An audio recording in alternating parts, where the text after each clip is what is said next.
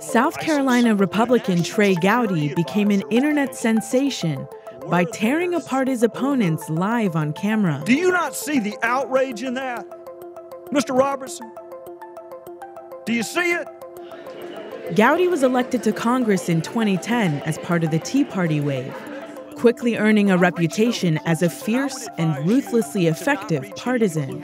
His tenure as chairman of the House Select Committee on Benghazi and his cross examination of Hillary Clinton transformed him into a conservative folk hero. This is an investigation, which is why it's so sad that nowhere in that stack that you just put up there where the emails of Secretary Clinton, the emails. But Gowdy, a former prosecutor, has increasingly disappointed Trump partisans. When you are innocent, if the allegation is collusion with the Russians and there is no evidence of that, and you're innocent of that, act like it. In January, Gowdy made a surprising announcement. He wouldn't seek re election in November. The notorious partisan said there was too much partisanship. Would you guys welcome Senator Tim Scott and Representative Trey Gowdy? He's now on a book tour with his co author, Senator Tim Scott, preaching solutions for Washington. Conciliation is uh, more Christ like, and I think it's, it's better for the long term health of our culture. That's great. But Gowdy himself can't wait to leave for good. Michael Moynihan spoke to him about his regrets. He's got a few. Do you regret these eight years? Do I regret running? I wouldn't. No, do you regret serving? The only thing that gives me pause is there are a lot of people I have met that I would not have met um, but for. So it's hard to say I wouldn't go through the negative parts to experience the positive. What were the negative parts? Ineffectiveness. You're one of 435. You have to say it in 30 seconds. You don't get an hour in front of a jury, you get 30 seconds, or a tweet, or a bumper sticker. The end justifies the means. You, you got to win. Um, and we've convinced ourselves that we have to win because the country will go to Hades in a handbasket if my team doesn't win. Was that something that you realized the second you got into Congress? I think initially I wasn't terribly happy because I was away from home. What you miss, you can't ever get back. You live in an airport, you show up for a hearing, where you can debate it all day and not a single mind has changed. Not you didn't like this job, did you? I mean, that, sound, that sounds self serving, but I, li- I like the people. But the job, I understand the people. No, I don't like the job. You no. don't like the job? No, I'm an executive branch guy. I'm not a legislative branch guy. Eight years you did it, though. Seven, soon to be eight, if I make it if I don't get You're really recalled. Counting, if I don't get recalled. You're like one of these guys ticking the boxes on the I can jail tell you, wall. I can tell you right now, I have 19 more drives to the airport before this session is over. 19 more weeks for the rest of the year that I'm going to be gone three or four days away from home, and then after that, I'll be in South Carolina. You're counting the number of drives to the airport. That doesn't sound like a happy existence. Or it could be that you're just so excited to go do something else. Yeah. But to the extent men judge themselves based on what they do for a living, I don't have a lot to show for the last seven years. If I open my phone here and I go to YouTube, I get video after video. Trey Gowdy destroys X.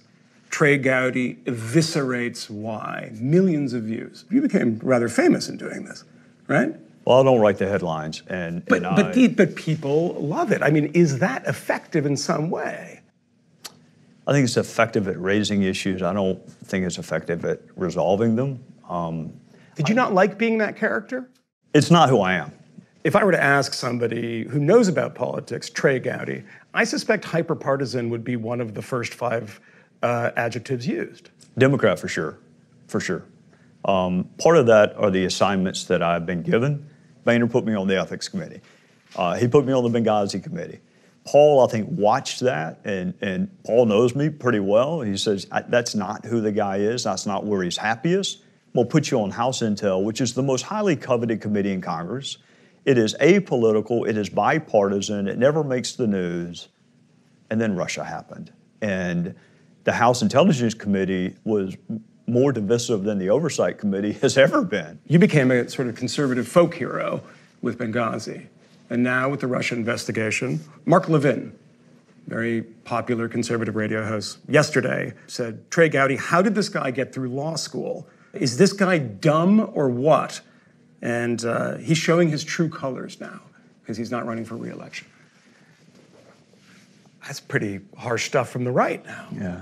Have you heard a lot of that recently? I've heard some of it. Part of what I don't like about the modern political culture is um, 99 is a failing grade. It doesn't matter whether I liked you yesterday. The first time you do something or take a position that I don't agree with, um, you're going to go from me liking you to being a sellout, a rhino, and a squish, and never should have liked me in the first place. Why are you a rhino and a squish by, by these people's Uh, standards? probably because I defend Mueller, because I have not figured out how to um, commercialize conservatism as some of my critics have. The President of the United States, the leader of the Republican Party, called you a loser.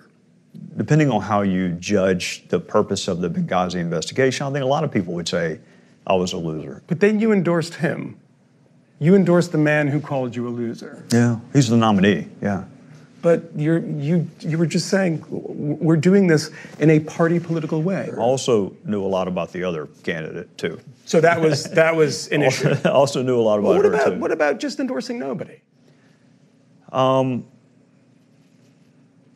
Do you think I he's fit it's for office? Did you think he was fit for office at the time? yeah. What do you make of the Republican Party in 2018? The goal is to win. That's all that the Republican Party cares about. That's the goal. Goal is to win. Are you a different person in 2018 than, than you were in 2010? It's hard to be more cynical than I was. Um, I'm a better person. I can check off the box of having tried that, and um, you won't see me running for political office again. So You're done. I'm done.